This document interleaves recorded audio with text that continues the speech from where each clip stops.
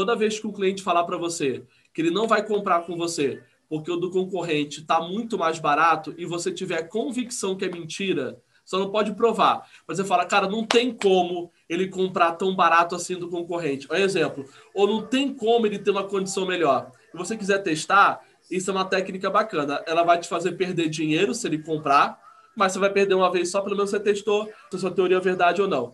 Cara, libera uma bolsa de 70% de desconto para elas. E liga e fala assim: olha, cara, me sensibilizei com a realidade de vocês, me sensibilizei mesmo, entendeu?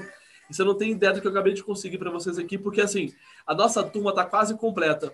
E algumas pessoas eu não tive que dar desconto para fechar. Então tem um acumulado de desconto aqui para repassar para alguém. Você não vai acreditar, mas eu decidi repassar para vocês duas. Eu consigo fazer aquela mesma condição comercial com 70% de desconto para vocês, porque eu me sensibilizei com a realidade de vocês.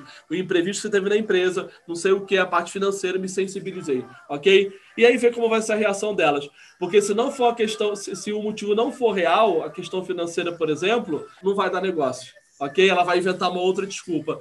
E aí você já sabe que não é bem aquilo, pelo menos você consegue mais informações.